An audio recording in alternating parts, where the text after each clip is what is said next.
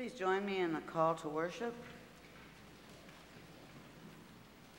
In wilderness and wild places, in groans and breath and lonely spaces, in birth and rebirth, in fire and flame, in pain and joy beyond familiar traces, encounter the holy. We gather in this place, separated from our usual spaces, to wonder, laugh, and maybe even cry, to discover and to hope, to meet God here among us.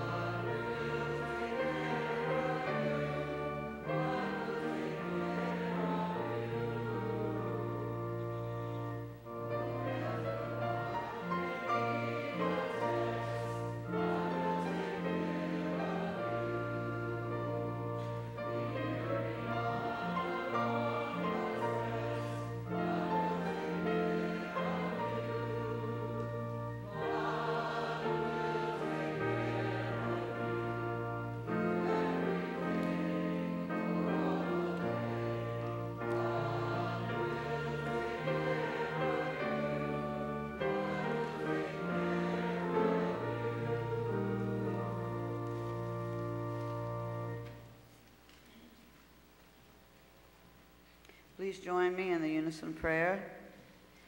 Dare we venture, O God, into the wild places, wilderness spaces, frozen tundra, wind-swept outback, tangled bush, jagged mountain ranges, fathomless seas, so much beauty, so much danger, so much uncertainty.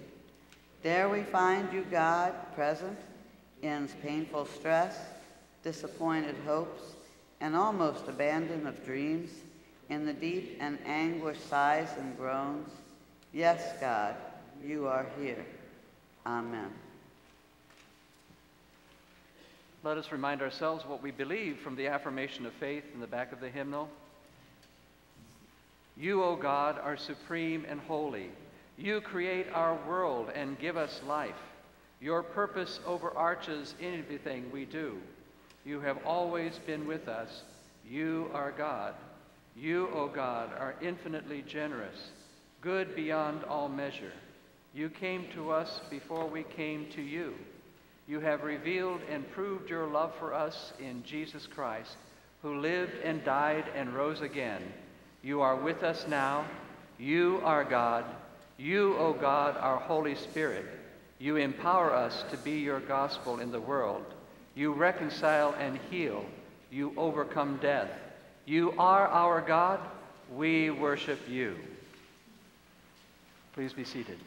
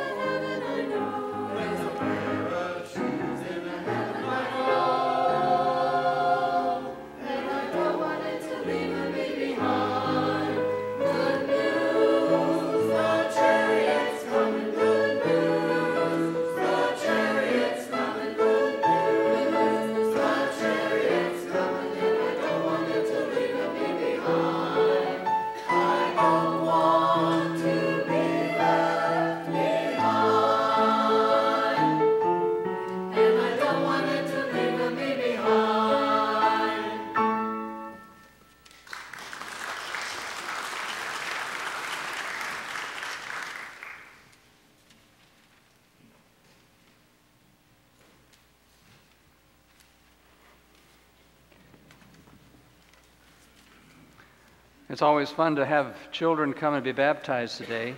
And Jeremy and Kara Collins are going to bring their child, Jackson, to be baptized.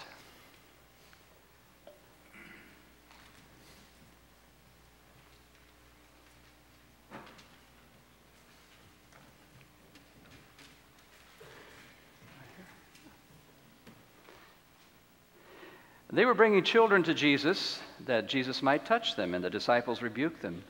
But when Jesus saw it, Jesus was indignant, and he said to them, Let the children come to me. Do not hinder them, for to such belongs the realm of God.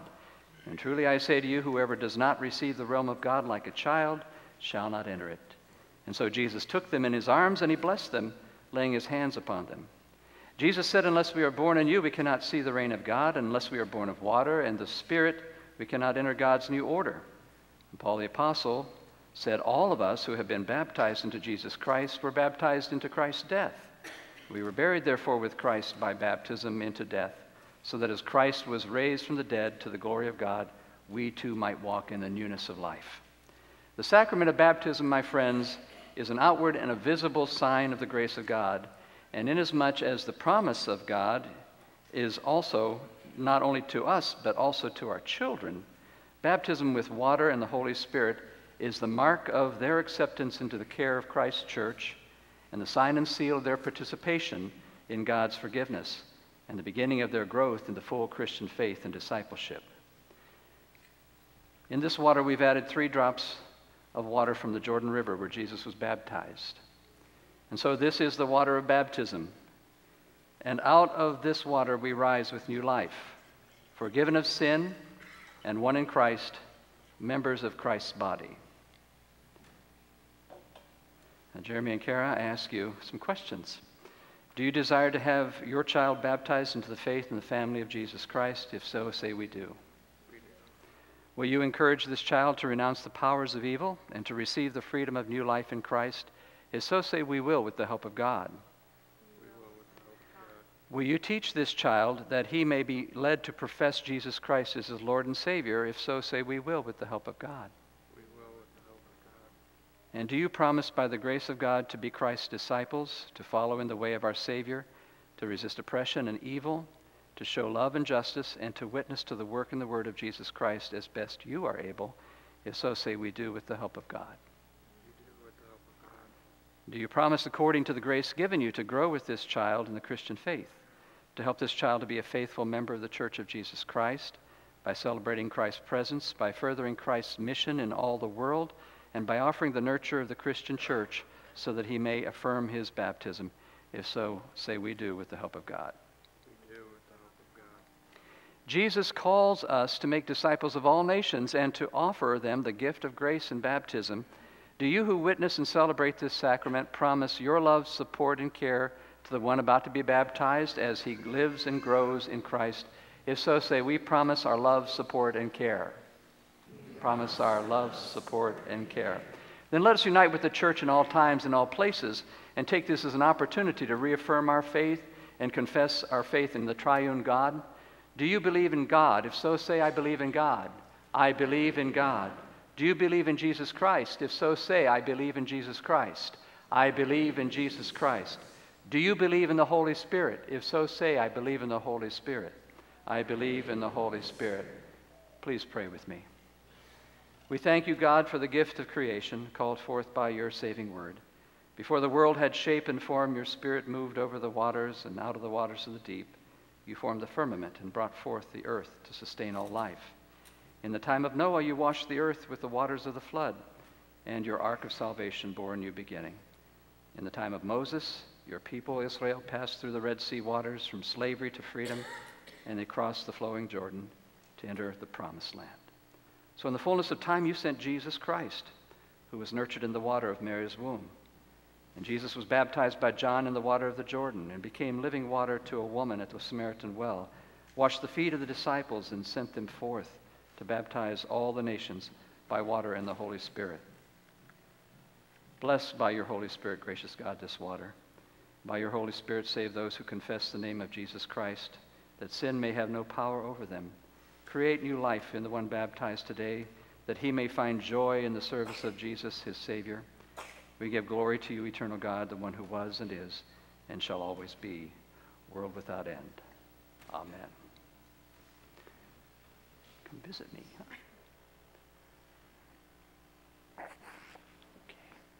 Okay. You're getting to be a big boy, aren't you? Yeah. By what name do you call this child? Say his whole name. Jackson Lee Collins. I baptize you in the name of the Father, in the name of the Son, and in the name of the Holy Spirit. I'll be right back.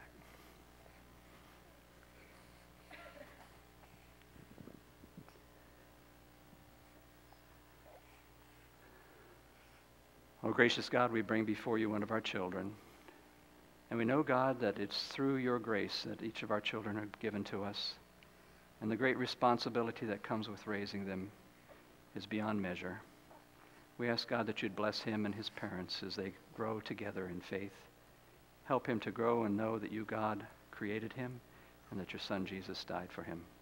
Watch over him. May he be a man of God. We pray in Jesus' name. Amen. Okay. Yeah, Jackson, I know you have to tolerate this. There he is, folks. Yeah. Oh, grandmas and grandpas and everybody over there. We got to smile for. Okay. All right.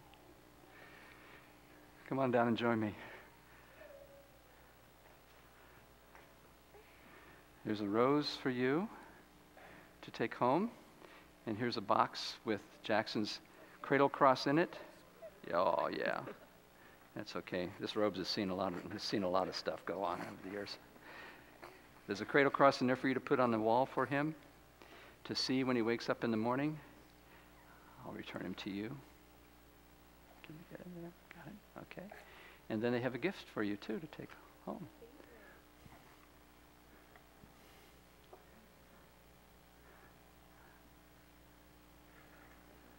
I'll give you one more thing. There you go. Go now and raise your son in peace. God bless you.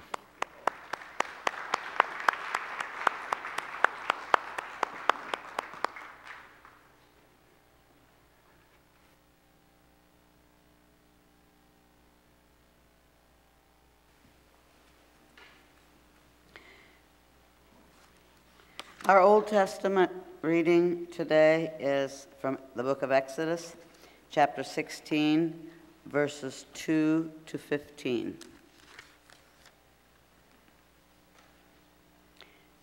There is the desert, they all complain. There in the desert, they all complained to Moses and Aaron and said to them, We wish that the Lord had killed us in Egypt. There we could at least sit down and eat meat and as much other food as we wanted. But you have brought us out into this desert to starve us all to death. The Lord said to Moses, Now I am going to cause food to rain down from the sky for all of you. The people must go out every day and gather enough for that day. In this way I can test them to find out if they will follow my instructions. On the sixth day they are to bring in twice as much as usual and prepare it. So Moses and Aaron said to all the Israelites, this evening you will know that it was the Lord who brought you out of Egypt. In the morning you will see the dazzling light of the Lord's presence. He has heard your complaints against him. Yes, against him, because we are only carrying out his instructions.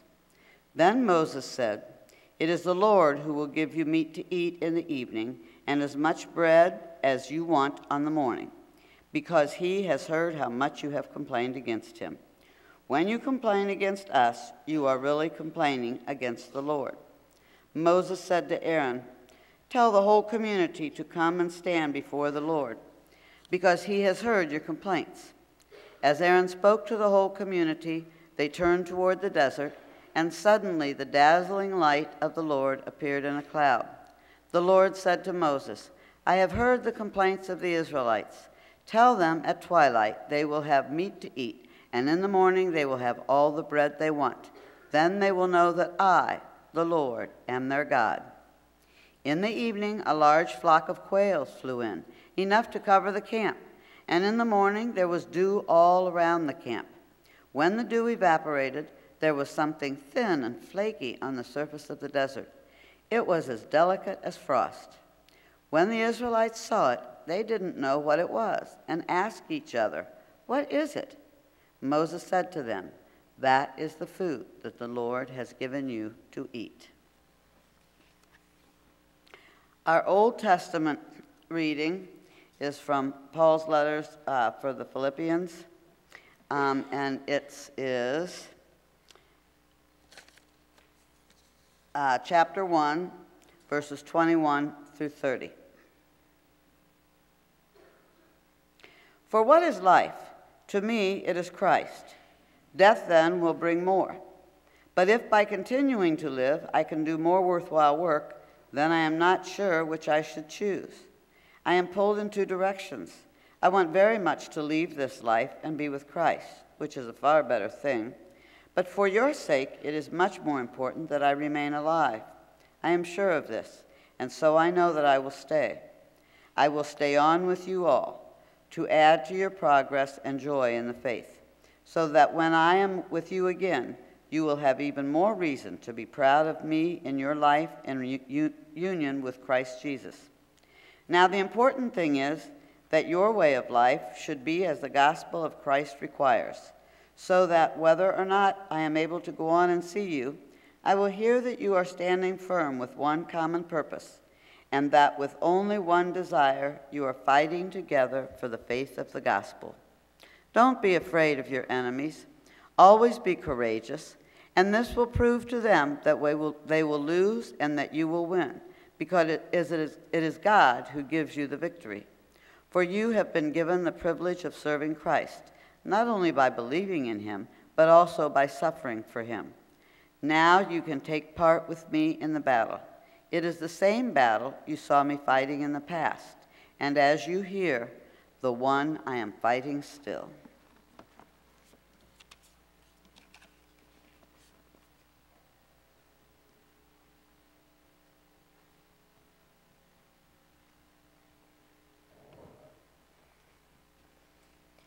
Today's Bible verse is from Joshua chapter 1, verse 9. Be strong and courageous. Do not discourage, for the Lord your God will be with you wherever you go.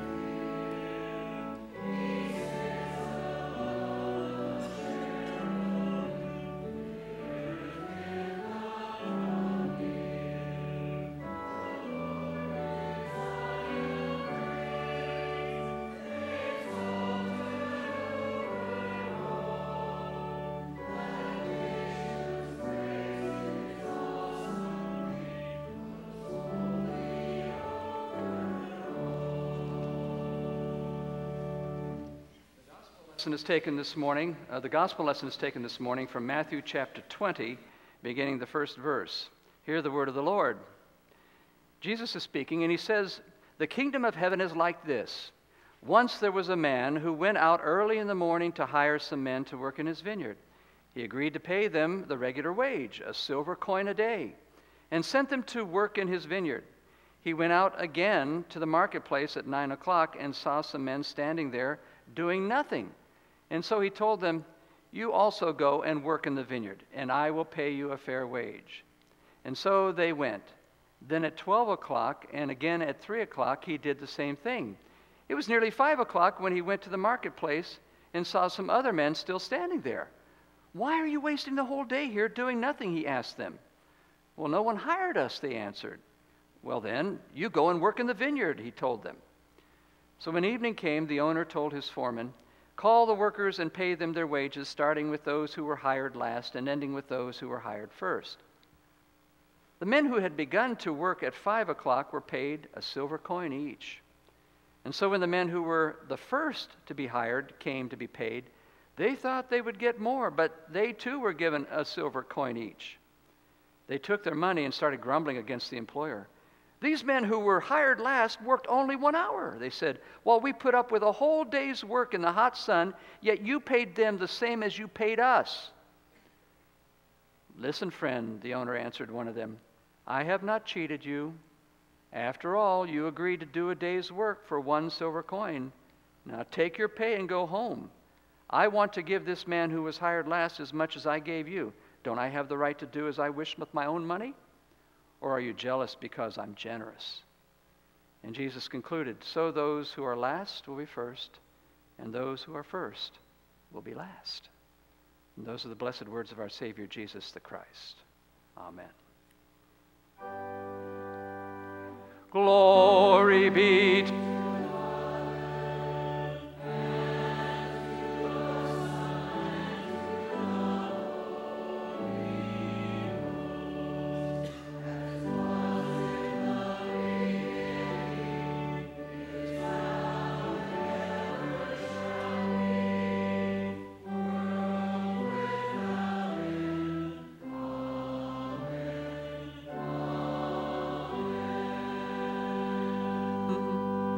peace of God be with you.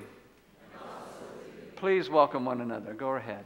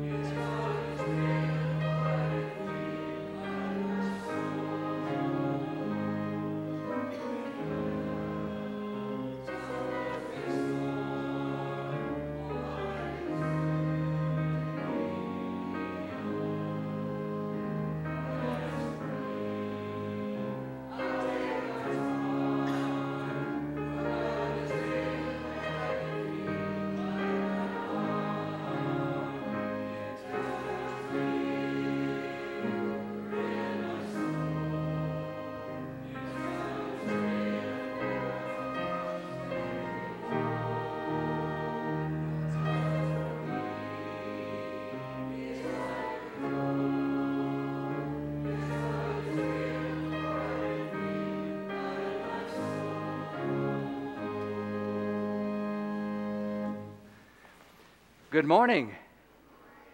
One more time, because you guys are really good. Good morning. Good morning. Yeah, I knew that. I knew that.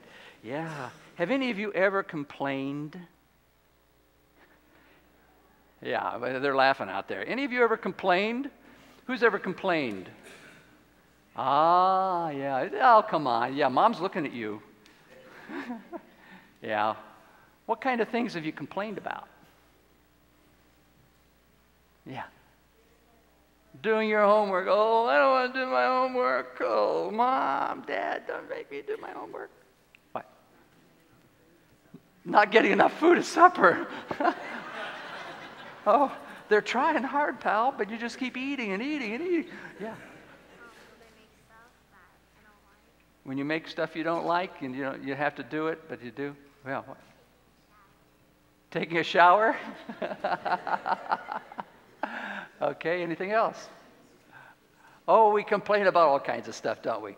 You know, I get up on a, on a winter morning and winter time is coming, and I get up on a winter morning and I look out there and I, oh man, I got to shovel the snow. Oh. Yay, huh, for you? Yeah, maybe a day off school, right? I got it. Oh, you know, you know, adults complain all the time too. We grab, oh, I went to the grocery today. Can you believe how much food costs? And I got to feed that boy. Oh, yeah. We complain all the time, don't we? We gripe and we growl and all that kind of stuff. Do you know how much people complain to God? God, why did you let this happen to me?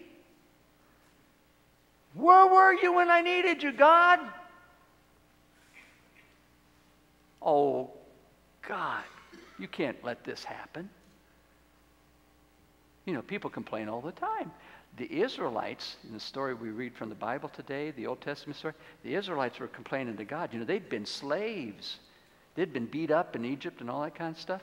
And here they are out in the wilderness, and they're saying to Moses, Moses, you brought us out here to die. You'd have been right with them. I'm starving.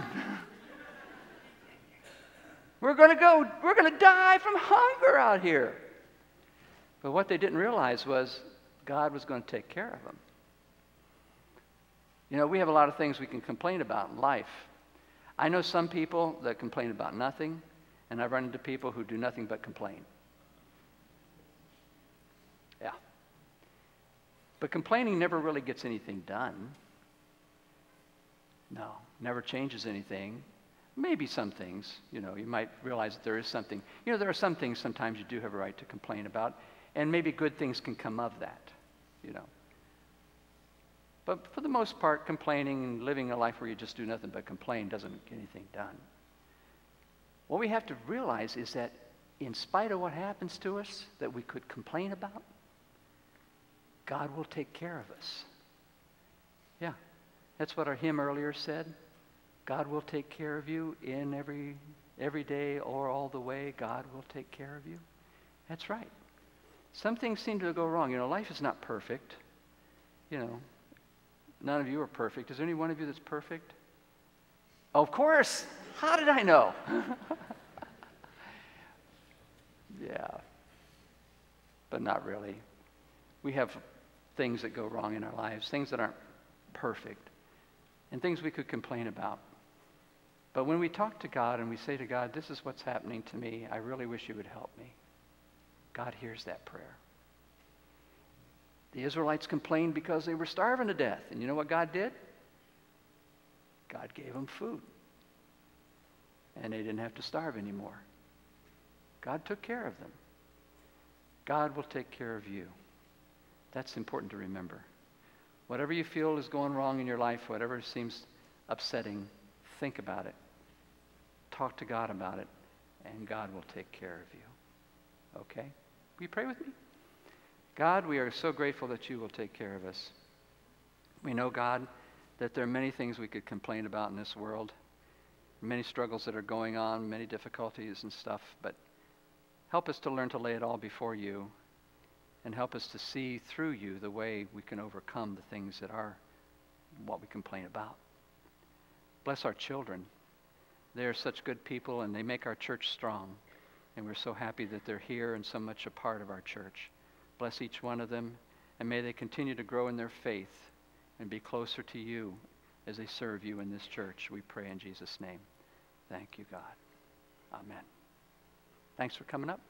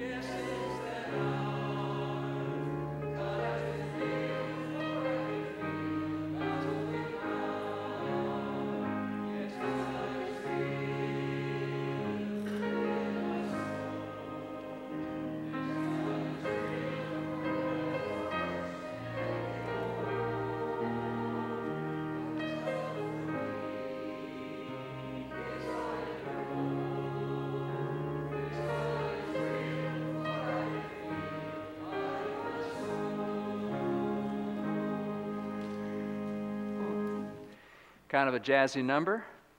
I kind of like that. I hope what I have to share with you today will strengthen you in your faith and help you go the next mile that you have to travel in life. And will will make a difference for you, I hope. Present anxiety can distort the truth of even recent past. Present anxiety can distort the truth of even recent past. When we find ourselves in a moment of despair, feeling a sense of being bereft, a sense of being deprived, of being desolate, is truly when any of us could really lose clear vision and lose clear understanding of what really is going on around us. That's what happened to the Hebrews, former Egyptian slaves, when they found themselves roaming in the wilderness under the leadership of Moses, former prince of Egypt. Discouraged, hungry, and just downright grumpy. They came to Moses and they complained. If only we had died by the hand of the Lord in the land of Egypt, when we sat by the flesh pots and we ate our fill of bread. For you, Moses, you have brought us out into this wilderness to kill this whole assembly with hunger. Their bellies were crying out as their memory forgot the 430 years of oppression, the 430 years of whips, of hard labor, of cruel beatings, of women and children scourged and of old people being murdered. Their bellies became more important than that memory. The Hebrews' bellies had caused them to forget the awful things that had happened to them and only remember that at least while they were in Egypt, at least we had food. The cost of freedom, which never was free, was taking its toll on the children of Israel the former slaves of Egypt. When you are hungry for something you don't or you cannot have, it can cause you to have an inordinate sense of being deprived. You actually become mournful. You actually become bereaved. It can blind one to the truth of his or her own life. For instance, the easiest thing to point to there is no greater loss than when someone you truly love dies. Most people grieve, most people shed tears, and most people learn to cope. And then they continue to go on living their lives, always missing that one whom he or she lost, but recognizing that life is still good and life must still be lived. There are those people, however, who get caught in the trap of suffering what is called morbid grief. That is an actual terminology. Morbid grief. Over my four decades of ministry, I have encountered a few who suffered this, this mentally painful malady. In every case, they had wonderful people all around them. They had children, grandchildren, friends, neighbors, spouses. In every case, however, they were all not capable of letting go of the losses of family and friends which they had suffered.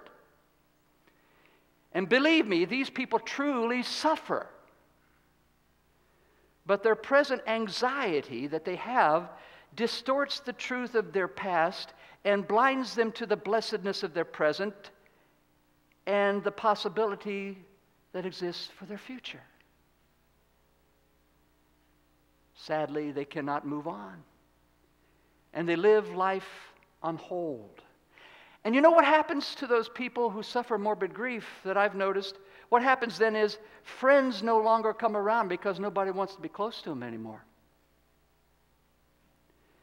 Family just learns to cope with them and they retreat into a shell of isolation, awaiting their own physical deaths while at the same time killing their own souls.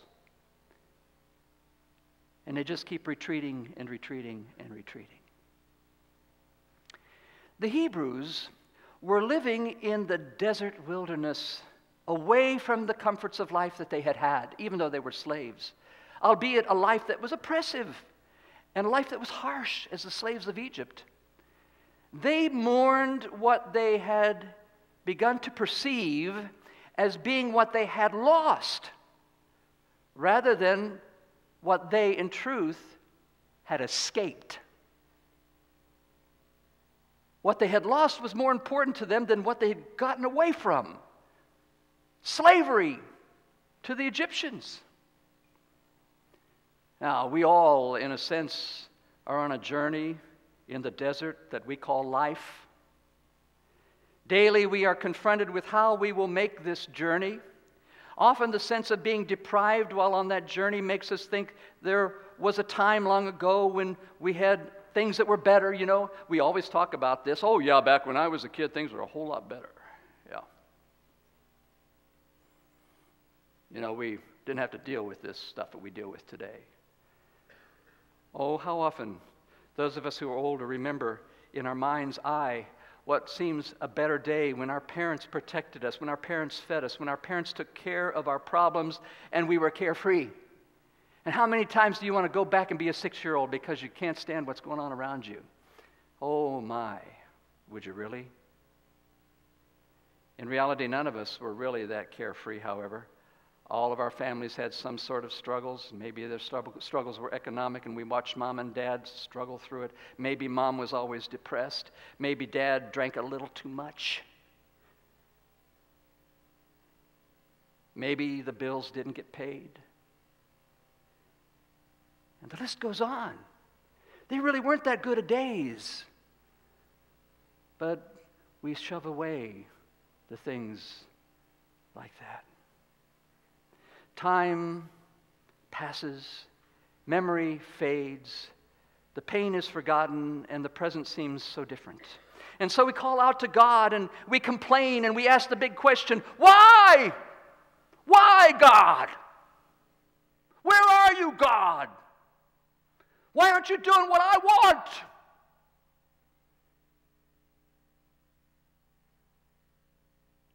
And the question should be why not? Why should this not happen to me? I was the one that got myself in this situation anyway. Why should I not be experiencing this pain? I'm the one that caused it. Why should I think death should not come my way when it comes the way of everybody else, too? Why should I be any different? Why not? Life has its twists and its turns. And because it does, we find a few things we have to engage in combat spiritually in our desert journey called life. We engage these things spiritually. One of those things is the feeling of despair. When you are confronted with despair, it is a feeling of having lost hope. You have no more hope. The sense of, of, of, of want of what you should have is you just want to give up of what should happen. It's not going to happen. There's not one person in the face of this planet that has not encountered despair in her or his life. Not one. Even the happiest of people. Despair robs you of your power. It causes you to believe that there is nothing you can do about whatever discouraging situation you face. And how many days, how many times every day do we each one give away our power? We give away our power to people who bother us. We let them bother us. We don't have to be bothered by them. It's their problem, their, their struggle. But, we let, but they bother us because they're irregular people and they're toxic, and we let what they do and what they say upset us. And we give them our power, allowing them to upset us. Just as an example. Another of those things that we have to combat spiritually is the sense of need, meaning having the lack of something that is deemed necessary to make life work. Uh, perhaps one feels the need for material things that others around have. I don't have what he has. Why don't I have what he has? Shouldn't I have what he has? My life can't be complete because I don't have what he has. Woe is me.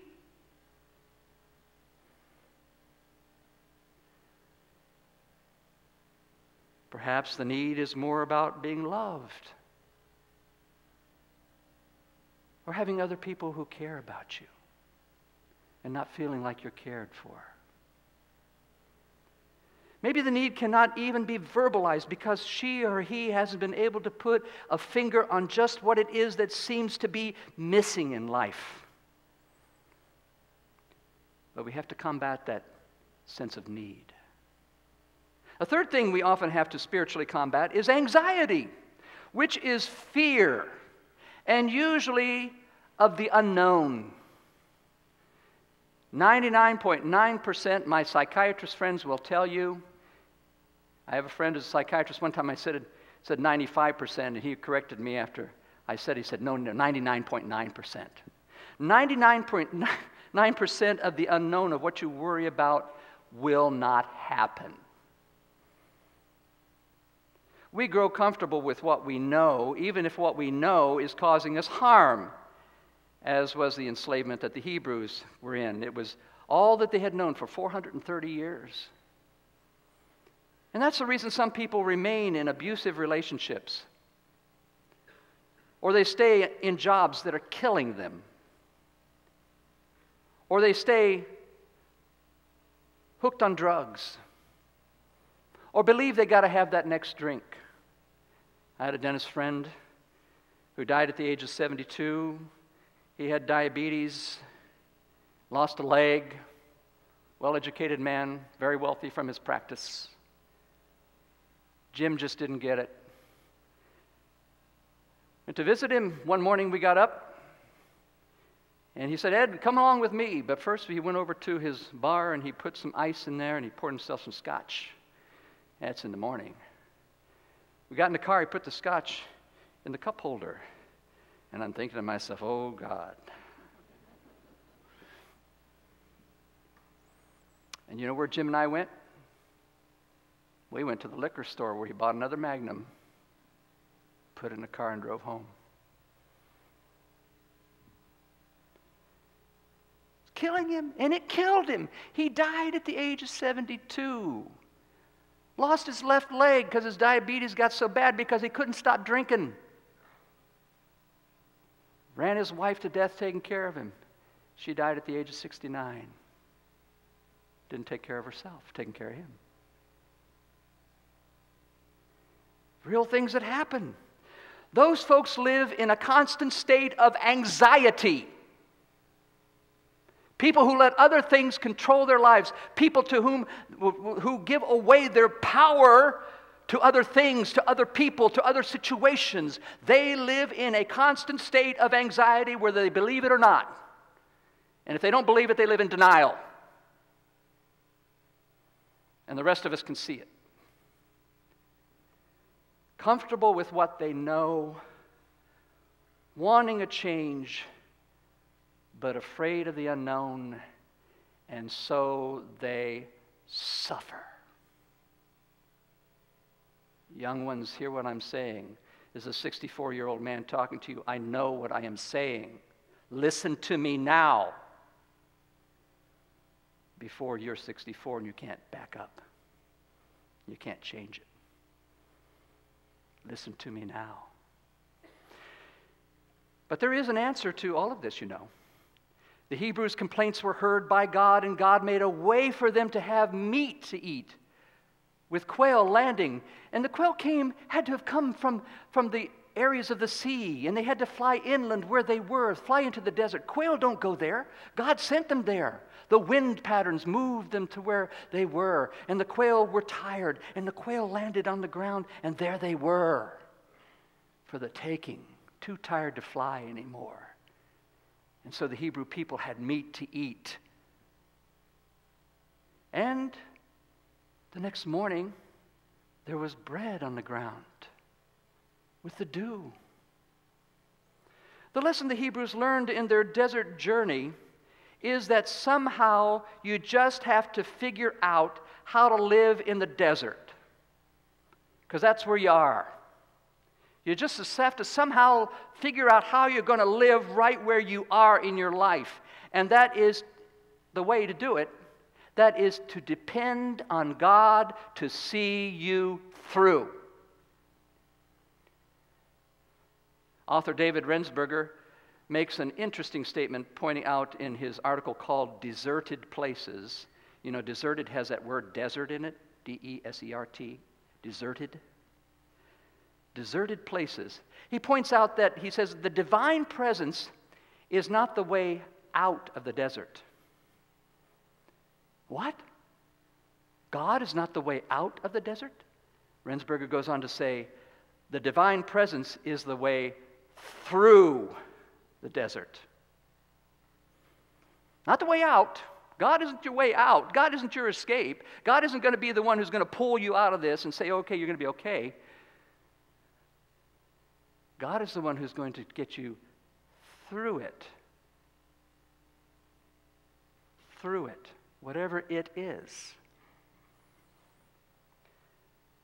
God, Yahweh, God's holy name, Yahweh, is the key. In this story, in this story of the Hebrews walk toward freedom and away from enslavement into a desert appearing bereft of any life giving presence, it was that wilderness that was, in the end, inhabited by God. It wasn't while they were in slavery. That wasn't where they found God. That is not where they found God. They found God in the wilderness of their life. That's where, it was, that's where God was. In the wilderness places, in the deserted places, is where they found God. It is, my friend, in the spiritual wilderness in which we may find ourselves and find our God at times where we most confront despair, where we most confront a sense of need, where we most confront a sense of anxiety, fear of that unknown. And it is there, it is in that place,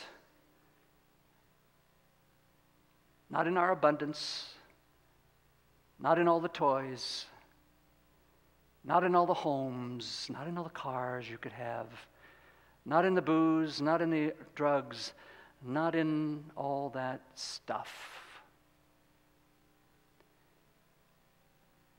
It is in those places where you will find God. Recently, in a sermon, a couple sermons back, I quoted Ernest, Hemingway to you and I want to quote him again or paraphrase him again. He said, The world breaks us all in some way, and it is often at those broken places where we become the strongest. It's in the wilderness of our lives where we truly will find God. Israel's complaint and their brokenness was dealt with by, the massive dis- by a massive disclosure that in the wilderness in the lifeless, deserted places of our lives, God is promptly and always decisively present. When things get going bad, when the crisis comes, that's where God is. That's when you really need God. Not to be your genie in a magic lamp to give you what you want. Oh Lord, help me win the lottery today oh God, this football game means it all. Help us win the football game. Oh God, I really like that new car. I don't need a new car, but I really, really, really like that car. I want one. That's my problem. Yeah. You hear what I'm saying? God meets you in the wilderness. And it is in the wilderness that God will take care of you in every way through all the day. God will take care of you like God took care of the Israelites, like God took care of all of God's people throughout all of history. In the crisis, in the wilderness, in the struggle, in the midst of the fight in the greatest of despair. One of the illustrations I just remembered that I like most about this kind of thing is one that was written by Elie Wiesel, who had been in a German concentration camp. And it was about, and I've used it here before, but just now I think of it because it makes sense. It was about how there was a 15 year old boy who had stolen a loaf of bread in this German concentration camp, Nazi concentration camp. And to set him as an example, they brought the whole camp together, gathered everybody around, all the prisoners. And they put a noose around this 15 year old boy's neck. And they said to all of them, This is what will happen to you if anyone else steals another loaf of bread. And they clipped the gallows and hung him. And for 15 minutes, his body dangled there. He was still alive. For 15 minutes, he hung there on the rope, dying. And a woman in the crowd hollers out, Where is God? Where is God? And Elie Wiesel, who was present at that hanging, said, I thought to myself, there is God hanging on the gallows. For that is where God meets us in our greatest despair, in our lowest moment, in the wilderness places of our lives. God will meet us there and take care of us. You can count on it. Amen. Will you pray with me? Oh God, some of the problems that we face in our lives, we, we think of them as being all important. And really, they're very little problems when you compare under the whole spectrum of things that go on in the world. And sometimes we are so selfish, we think only of ourselves. And sometimes we do recognize, though, that in our deepest moments of despair, for some reason, when nobody else seems to be there, when nobody else seems to care, you care. You care because you love us. And so we should love you. Forgive us, God, for our waywardness. Forgive us of the sins that we have committed and for the sin of not doing what we should have done, our sins of omission. Forgive us for turning our backs on you. Forgive us for not worshiping you like we should. Forgive us for not being there for you when you're always there for us. Help us, each one, through this malaise that we have in our lives that allows us to stand back and say, God, be the way I want you to be, instead of God, mold me in the way I should be. As we pray today, God, we remember that unfortunately not all of our number were able to be in church today because some of them are ill and some of them are, are in a state of panic in their lives and trouble in their lives. And we think particularly of the ones that we mentioned before church this morning. And we remember, God, that there are those that are watching, there are those watching us on television who can't get here. That's why we have this TV ministry, just to get it into their homes and to touch their lives.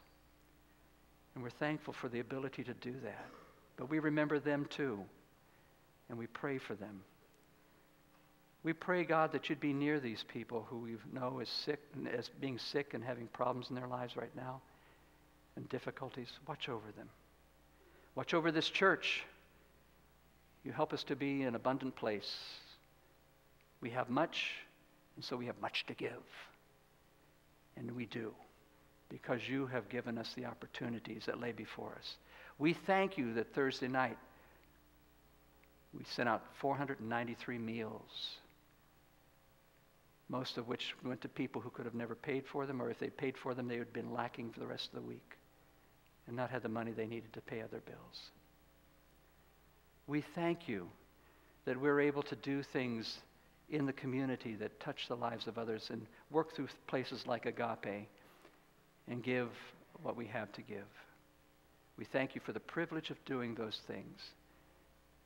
We thank you, God, that you have honored us with the opportunity to serve you. So bless this church. Please continue to bless us. And bless this nation. Bless this world with a sense of peace and honor. There's too much evil roaming the streets now, even in our own country. There's too much evil happening in the Middle East. Evil is having its word. And we hope, God, that maybe evil is just trying the best it can to get its last word. And that's why it's disrupting the world. We pray, God, that you'll continue to remind what is evil that it does not have the victory.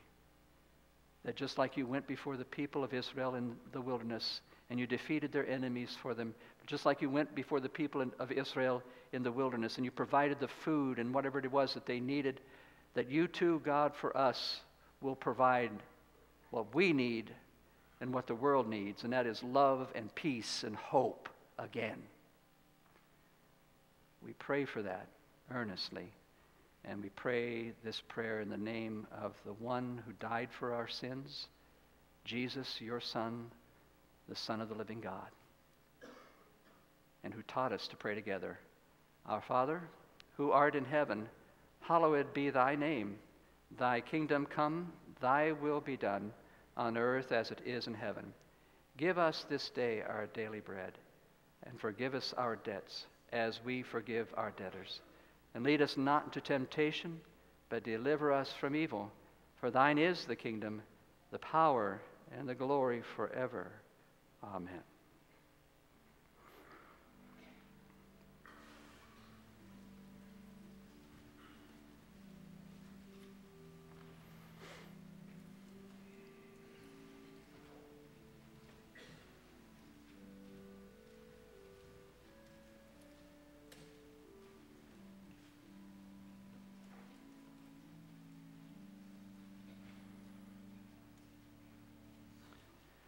You have the unique opportunity to let what you have earned, to let what you know, to let what your talents you have, to let what time you have to give, honor the creator of all the universe. And so when you give today, you're not just giving to a budget. You're giving to the work of the one who made you, the one who gave you life, the one who is real, the most real part of all of the universe the Creator, God Almighty. Give what you can, and God will bless you.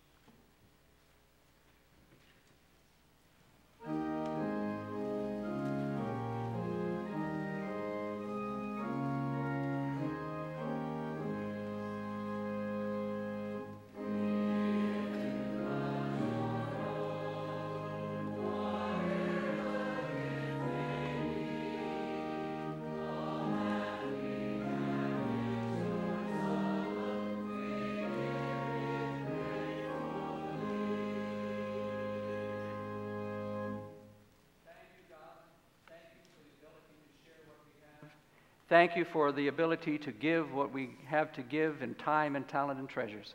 May we glorify you with all of these things that we have to give. May we lift up your name before all people. And may we say that indeed God is a good God. God is the one who we follow. God is the one in whom we believe. Bless now these gifts in the hands that prepared them and receive them for your service. We pray in Jesus' name. Amen. Thank you.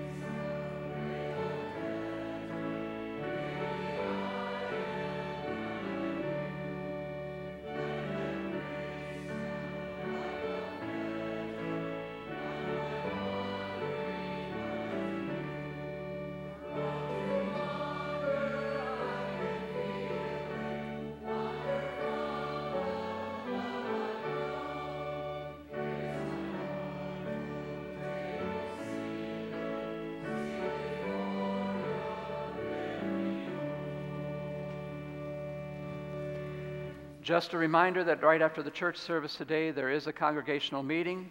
I want to invite all of those, those of you who are in the back to come forward for the meeting so it's easier to. That's the president of the church's desire that you'd come forward and make it uh, so we're closer together and can talk. When you go from this place, though, I want you to remember to whom it is that you belong. You belong to God.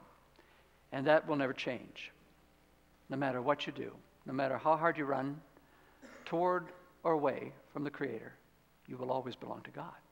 And so God will always love you. And when you go out into the world, live that love in your faith, in your practice, in your words, and in your deeds. And by doing that, God will see what you've done, and God will bless you.